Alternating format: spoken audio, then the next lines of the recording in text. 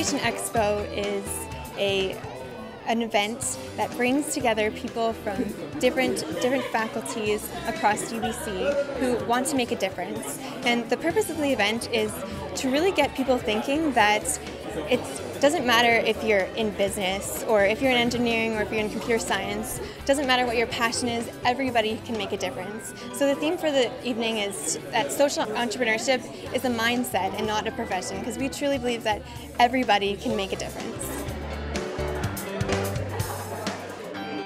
This is actually our first ever Innovation Expo, and it's the idea was sparked by the fact that we noticed that there are so many different positively minded organizations, so many different positively minded clubs, and we thought that why not bring them all together into one space to get everybody talking about how they can make a difference.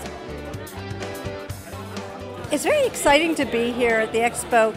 I love to see uh, young people who are really the, the leaders of the next generation, who are bringing forward the whole idea of social enterprise, blending social with entrepreneurship and um, you know making a difference.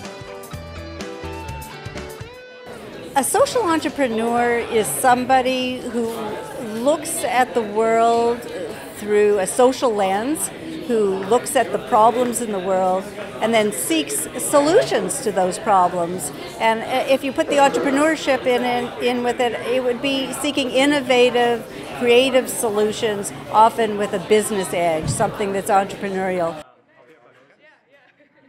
If you really do want to change something in this world, sometimes the solution is right in front of you. It's all about just taking different concepts and just making it all work together to form the solution that you're looking for.